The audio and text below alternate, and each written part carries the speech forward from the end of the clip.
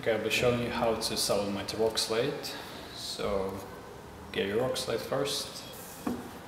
Get your design, make sure that you mirror it. So then just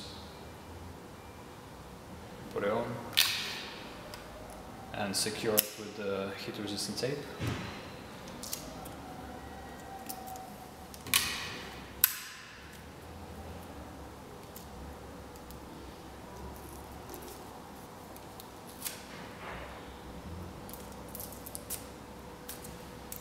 So once you do that, then we can go to the press.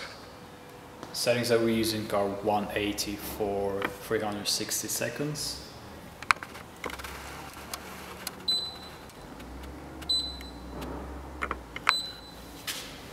Set your press to medium to high pressure. Um, make sure that you put your rock slate face down, so just like that.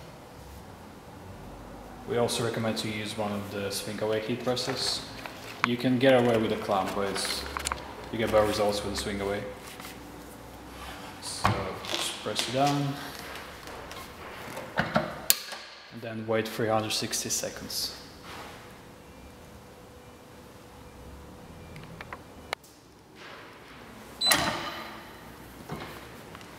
Okay, so once the timer is done, take your item out.